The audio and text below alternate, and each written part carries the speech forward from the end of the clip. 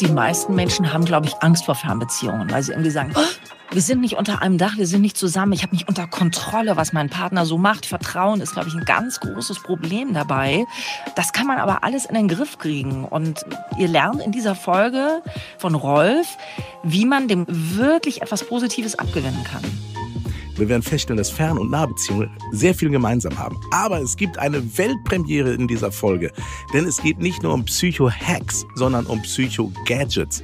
Um Gimmicks, die die Fernbeziehung schön machen. Und wir werden feststellen, dass Lampen als auch Spielzeuge eine Fernbeziehung zu einem echten Glücksfeuerwerk werden lassen.